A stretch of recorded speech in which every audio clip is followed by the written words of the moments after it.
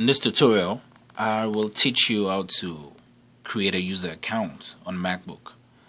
So to start, you go to the extreme left corner, you click on it, and uh, you go to you go down a little bit to system preferences, and you click on system preferences.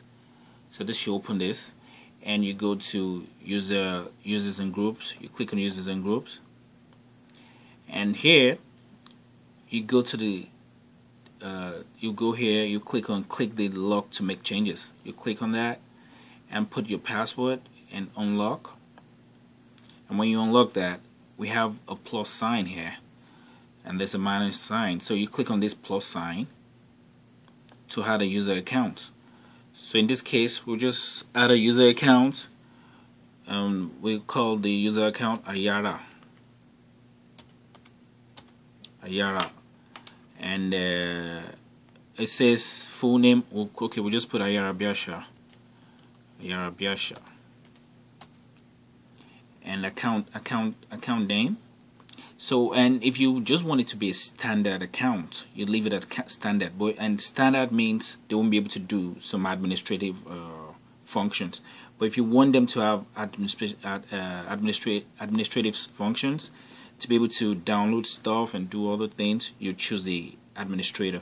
But in this case, I just I just want them to be a standard user, and we have other functions too, uh, where you could manage with parental controls.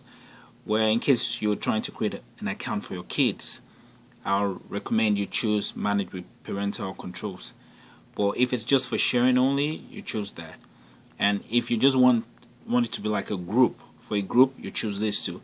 But in this case, we just want a standard control.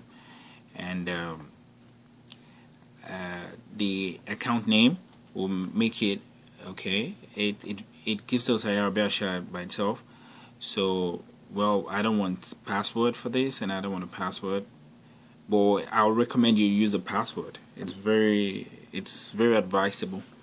But in this case, we don't need a password, so I'll just click on create user.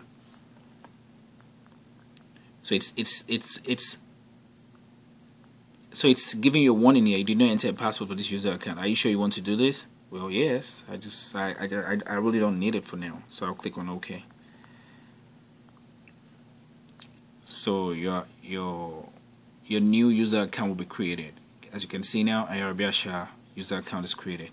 So you'll have you'll be able to log in under that account. Thank you for viewing this short tutorial.